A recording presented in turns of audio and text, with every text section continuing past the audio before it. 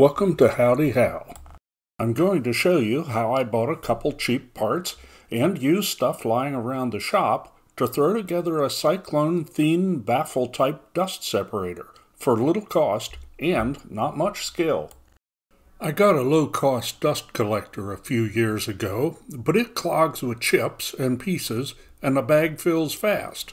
I want to improve that. I started by getting a dust cyclone kit about 20 bucks from Home Depot and others. The kit has two elbows, two hose fittings, and fitting hardware. I had an unused brown trash bin that looked like a good candidate for the project.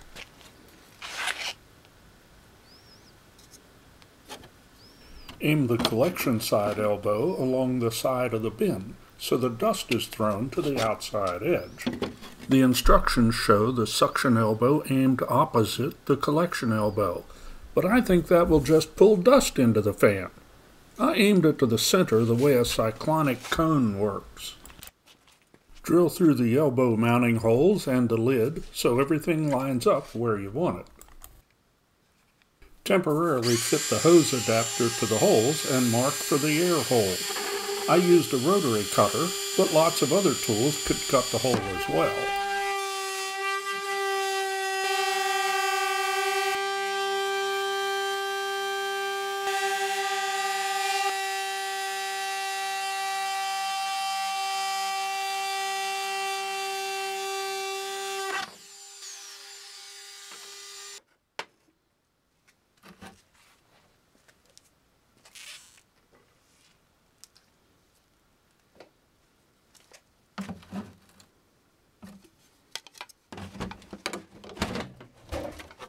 Now we're ready to fit the elbow and hose adapter to the lid and bolt them together.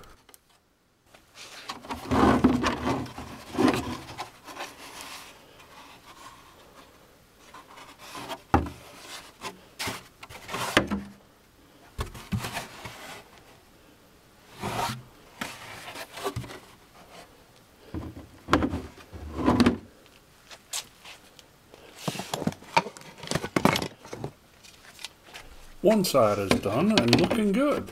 Now let's do the other.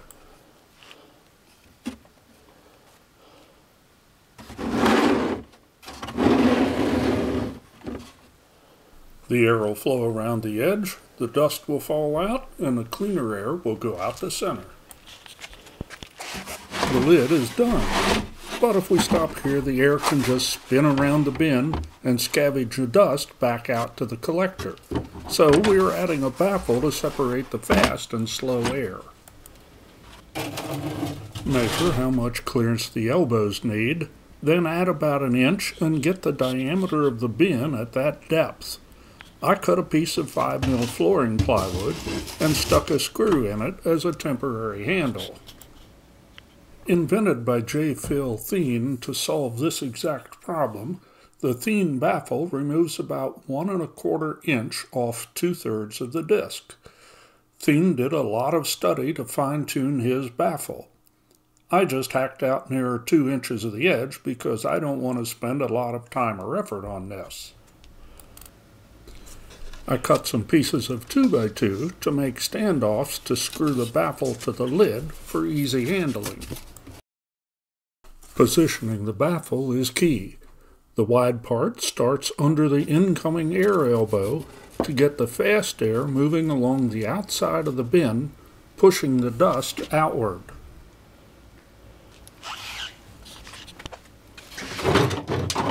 Screw the baffle to the standoffs and the lid assembly is ready to hook up hoses and give it a try.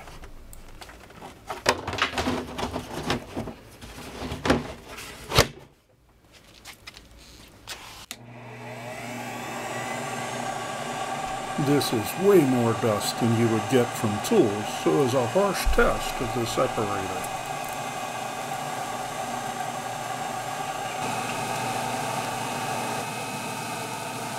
You can see how the dust is on the outside of the hose bend going in, and a small amount is in the hose coming out.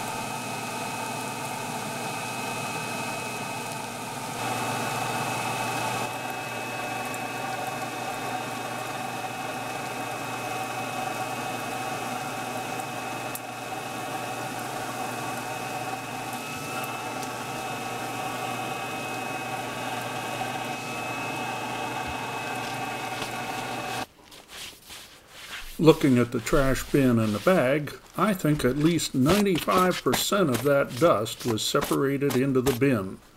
Dust in the bag was very fine particles. Thanks for watching. If you found this helpful, please click the thumbs up. It really helps us help others.